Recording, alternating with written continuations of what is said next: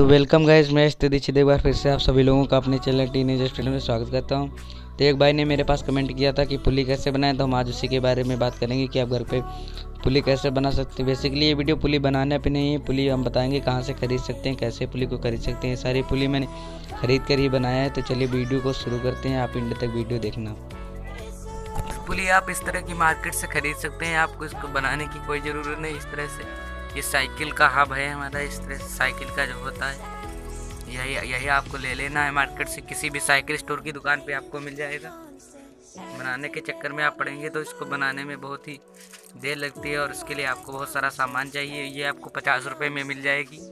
Market में किसी भी दुकान पे आप इसको ले सकते हैं। ये देखिए, यहाँ इसी तरह की बिल्कुल होती है, जिसमें साइकिल की तीलियाँ लगी होती हैं बीच में।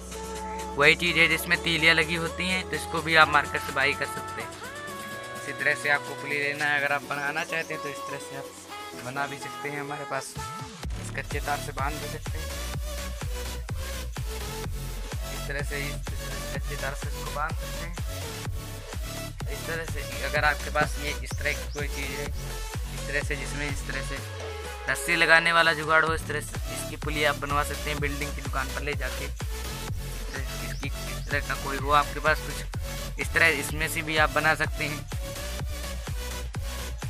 कच्चे तार से बाँध सकते हैं।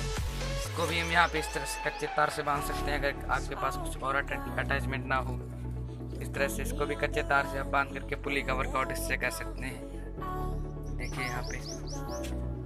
तो थैंक यू गाइज़ आज की वीडियो में सुनने तब तक के लिए बाय जय हिंद, जय भारत। मिलते हैं आपको इस नेक्स्ट वीडियो में।